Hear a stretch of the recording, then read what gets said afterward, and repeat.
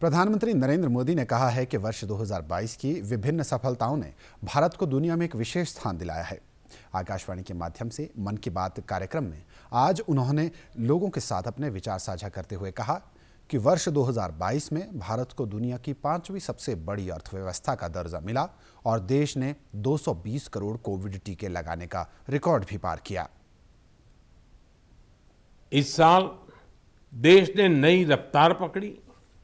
सभी देशवासियों ने एक से बढ़कर एक काम किया। 2022 की विभिन्न सफलताओं ने आज पूरे विश्व में भारत के लिए एक विशेष स्थान बनाया है। 2022 यानी भारत द्वारा दुनिया की पांचवी सबसे बड़ी अर्थव्यवस्था का मुकाम हासिल करना। 2022 यानी भारत द्वारा 220 करोड़ वैक्सीन का अविश्वसनीय आंकड़ा पार करने का रिकॉर्ड। 2022 यानी भारत द्वारा निर्यात का 400 बिलियन डॉलर का जादुई आंकड़ा पार कर जाना। 2022 यानी देश के जन जन द्वारा आत्मनिर्भर भारत के संकल्प को अपनाना जी कर दिखाना। 2022 यानी भारत के पहले स्वदेशी एयरक्राफ्ट कैरियर आईएनएस विक्रांत का स्वागत। 2022 यानी स्पेस, ड्रोन और डिफेंस सेक्टर में भारत का परचम। 2022 यानी हर क्षेत्र में भारत का दमखम।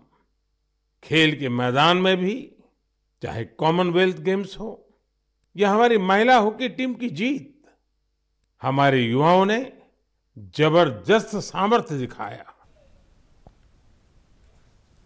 प्रधानमंत्री ने राष्ट्रमंडल खेलों में देश के प्रदर्शन और महिला हॉकी टीम की विजय की चर्चा भी की। उन्होंने कहा कि देश ने इस वर्ष अपनी आज़ादी के 75 वर्ष पूरे किए हैं और देश अमृत काल में प्रवेश कर गया है। प्रधानमंत्री ने कहा कि एक भारत दो हज़ार बाईस भी इसी वर्ष मज़बूत हुई। कई मायनों में बहुत ही प्रेरक रहा, अद्भुत रहा। इस साल भारत ने अपनी आज़ादी के 75 वर्ष पूरे किए और इसी वर्ष अमृत काल का प्रारंभ हुआ।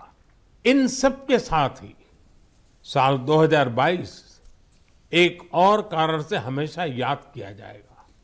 ये है, एक भारत, श्रेष्ठ भारत की भावना का विस्तार। देश के लोगों ने एकता और एकजुटता को सेलिब्रेट करने के लिए भी कई अद्भुत आयोजन किए। गुजरात के माधोपुर मेला हो, जहाँ रुक्मणी विवाह और भगवान कृष्ण के पूर्वोत्तर से संबंधों को सेलिब्रेट किया जाता है, या फिर काशी तमिल संगमम हो, इन पर्वों में भी एकता के कई रंग दिखे। प्रधानमंत्री ने कहा कि इस वर्ष भारत को जी ट्वेंटी समूह की अध्यक्षता की जिम्मेवारी भी मिली है और 2023 में जी ट्वेंटी का उत्साह हमें नई ऊंचाइयों पर ले जाना है और इस जन आंदोलन का रूप देने की ज़रूरत है।